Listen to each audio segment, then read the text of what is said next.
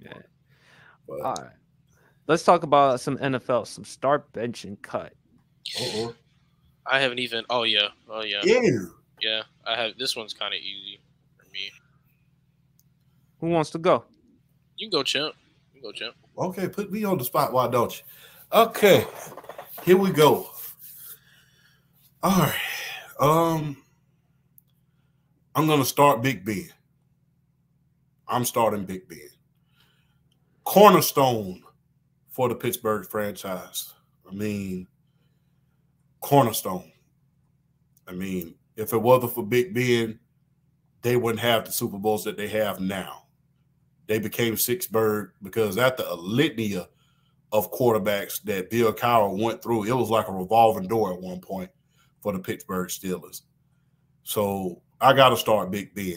Um, love Russ, love Russ, man, but I got to bench Russ. You going on the bench, and um, but you know, at his peak, he was very, very good.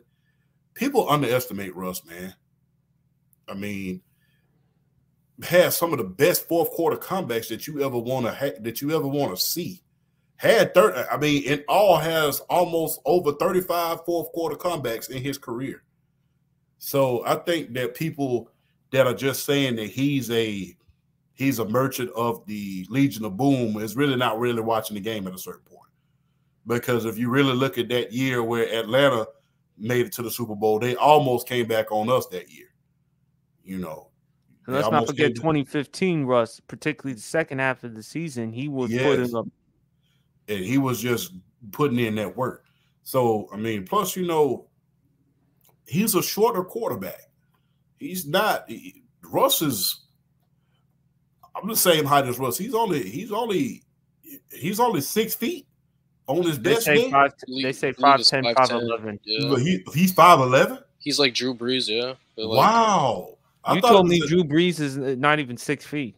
Drew Brees, I seen him in person. But to see how short, to see how I short, seen him in person, so I'm like, what? The, oh, to that's see, Drew to, Brees. to see how short he, to see how short uh Russ Mhm. is. There's a picture of him and Tua side by side, and Tua towers over him.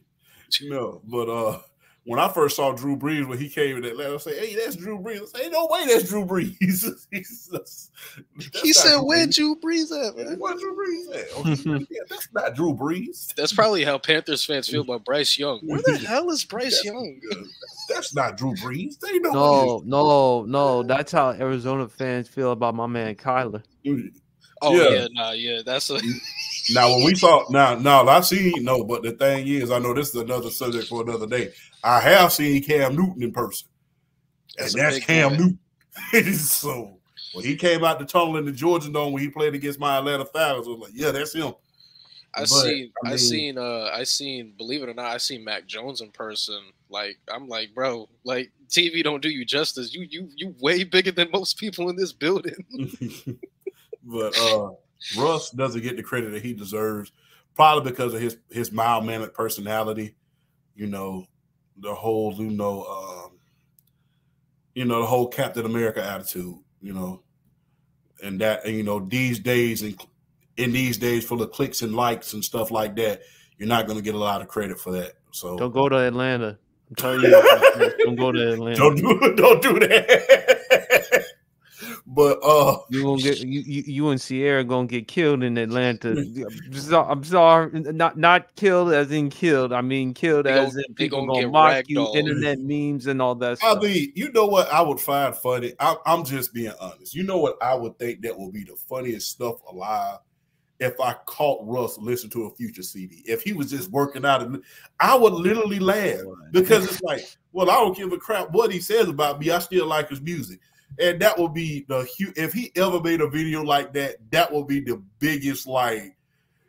You know, Mm. regardless how much. you talk Oh about man, Twitter, Instagram, TikTok. Yeah, I would love to see that. Regardless Twitter of how much you talk about me, dude, I'm still a fan of yours, man. And Which regardless how because I know you're a fan of mine because you be talking about me all the time.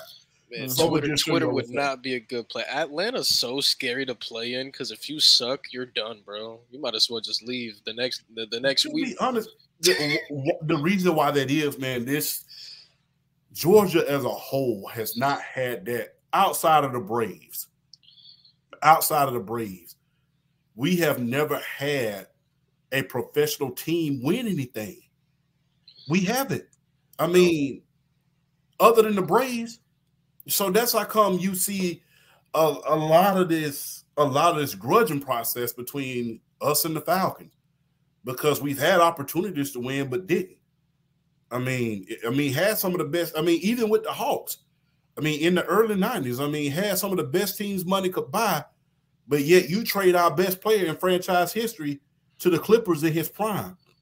1992 was arguably the best team that we had in order to overtake Michael Jordan. We had a little 20, bit of everybody. 2021, the Hawks had a chance to go to the finals. I remember it was game I believe was it game six or game seven. The Hawks had a chance to go to the finals. I don't think Gian- they was ready doing and, and, and, and Giannis was out though. That that's yeah. that, that was. I don't think they was ready. I really don't. Even with Giannis being out, I don't think they were ready. That team was way too young. Drew, Jrue Holiday put on a clinic. I think the I think the reason why I think the reason why they were so upset is because remember Atlanta versus Philly that series. A lot of people thought Philadelphia was going to win that series, and then the Ben Simmons debacle. Yeah.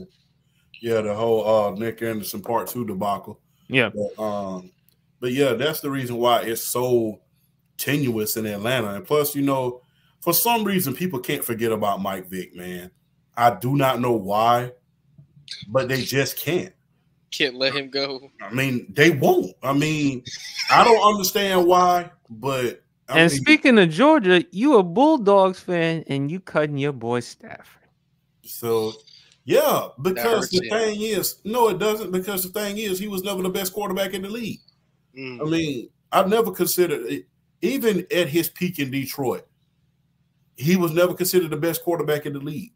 Nor now, in his great. division. Or in his division. He was always was overshadowed by Aaron Rodgers and other quarterbacks that were in that division. Wasn't top so, five either.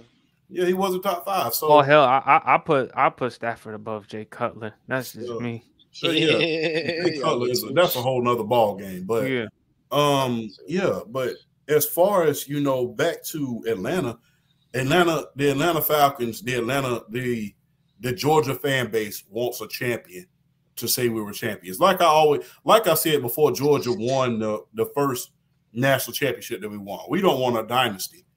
We just want one.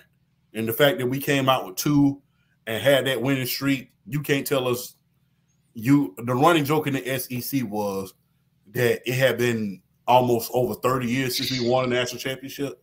Now that that's over, we won back to back, something that only something that no other SEC team has done other than Alabama. I mean, it, that's something to be said about that. But the city of Atlanta, the state of Georgia wants a champion. That's how come we cling to our teams like we do. I mean, the Atlanta Braves, we already talking about World Series talk. Georgia Bulldogs, we already talked about national championship talk. We already talking about if we, and you heard it all last year, man, if we had a quarterback, we would have a Super Bowl. Right. And that's one thing that Atlanta and the state of Georgia wants. Wants a Super Bowl, man. Just one Super Bowl to set the city on fire so we can eat lemon pepper wings and take that trophy to Waffle House. That's what we want. we want to be able to take that trophy to the Waffle House. Just one good time. Oh, but better get it with some cheese grits, some cheese mm. grits and some eggs. Mm-hmm. Yeah, yeah. So, Luis, who you got, man? I'm I'm I'm sticking with Champ. To me, this is to to me. I mean, yeah, I'm sticking with Champ. The reason I think the the main thing that separates Ben from the other two was in the greatest super, in my opinion, the greatest Super Bowl of all time. That was one of the greatest adversity plays that a quarterback can ever make, and I haven't seen Russ or Matthew Stafford make any come close to a play that Big Ben made in that Cardinal Super Bowl. Like Big Ben, when Big Ben probably has one of the probably had one of the best adversity drives ever. Like that was that was one of the best. Um, Stafford did pull off a comeback in that victory against the Bengals that passed the Cooper Kupp, though. Yeah, th- he did. He did, but that throw to Santonio. Oh yeah, that timer, man. Mm-hmm. That drive too, just an all-time drive. But that's that, that's what separates. That's kind of what separates them. Yeah, I thought that they I thought they had lost that game after Larry Fitzgerald. I thought so too. I thought that game was gone. I'm like, oh man, Fitzgerald and Kurt Warner have brought a Super Bowl to Arizona of all teams. Oh, this over. To me, Right. that's the greatest Super Bowl of all time, man. You will never find a better game like that, in my opinion. Like, Better than this better than this year's Super Bowl? 28 to 3 was better than that Super Bowl, I believe. I know my 20 Falcon was on I know my Falcon was on the receiving end of a loss that day, but 28 to 3, that was arguably the best Super Bowl you ever want to see because That was a that was a great Super Bowl. because that Super Bowl right there was like you knew it, it was like, man, this is over. Everybody was saying this is over. But even myself, I was like, that is Tom Brady. I don't really trust this vic this margin of victory right now. Let me sit down somewhere. I'm So, surprised y'all didn't mention giant the the, the giant Super Bowls, particularly the first one. David Tyree. yeah. David I got- uh, I like Oh. the Eagles versus Patriots Super Bowl when That Nick was another Foles good one. Tom Brady. Uh, Eagles Yeah. and Chiefs is another great one. That Yeah. was that was a phenomenal Super Bowl. But to me, that oh man, just everything that happened in that Steelers game uh, versus Arizona, like the James Harrison pick six and the the Fitzgerald play, the the Santonio Holmes catch, just oh everything about that Super Bowl was just magical. Like if I had to show a casual football fan like one game, that would probably be the game. Not gonna lie. Hey, that so that interception, if I can have like 20 seconds PSP, you know that interception happened because that whole run back situation sequence happened because Mike Tomlin was discovering that they was that the only thing that they were trying to do was get the ball and get down on the ground. hmm They said, and then Mike Tomlin was trying to make them make them literally run drills in order to say, hey, if you get an interception, we need to try for a touchdown. And that's how mm-hmm. that's how they end up running that touchdown back with James Harrison. That that's elite coaching right there. That's elite Tomlin right there. I'm starting coaching. Big Ben. I'm starting Big Elite Ben. coaching. And the reason why I'm starting Big Ben, you mentioned this champ. He won with two different head coaches, Bill Cowher, Mike Tomlin, in a cornerstone franchise like the Steelers. People forget how very mobile young Ben was, especially out of the way he shrugged off defenders, champ. People forget just how mobile and how well he could extend the play better than most. I mean, the reason why he wore number seven is because of his childhood hero, John Elway, and how the way he mm-hmm. can shrug off and move and manipulate. I'm a bench Russ because I think early on, I think early on in their careers, I think Russ was a better passer early on in his career than I think Ben was. Ben, when he became a better passer, was 2011, 2012, or 2013, and years on when he had Antonio Brown, though.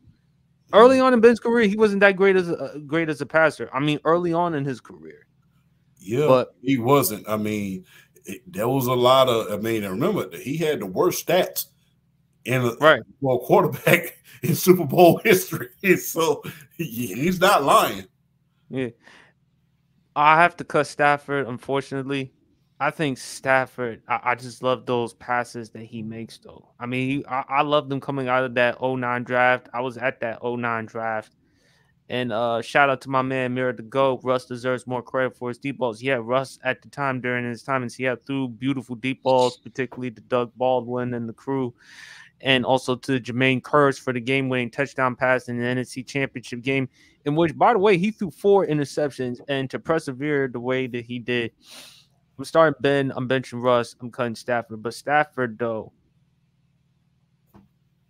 he's not a Hall of Famer, but if he could get to a couple more Pro Bowl appearances and win another Super Bowl, and he and if he wins the Super Bowl MVP, then I think it's fair, more than enough to say he's a Hall of Famer. Because if we're going to say Eli's a Hall of Famer, hmm then I think that should apply to Stafford if he can get those types of accomplishments. If he can get another Super Bowl, I can put him in there. But I can't put you in there if you. My thing is with Eli, what's going to get him in there? And I've said He, this. wrote, he rewrote history. He rewrote history, and you cannot write the history of NFL without Eli at this point. So But you damn sure would not put him as a first ballot. Hell no. Hell no, no. I mean, if he's first ballot, the ballot week. Yeah, not, if he's first ballot, the ballot week. no, no, sir.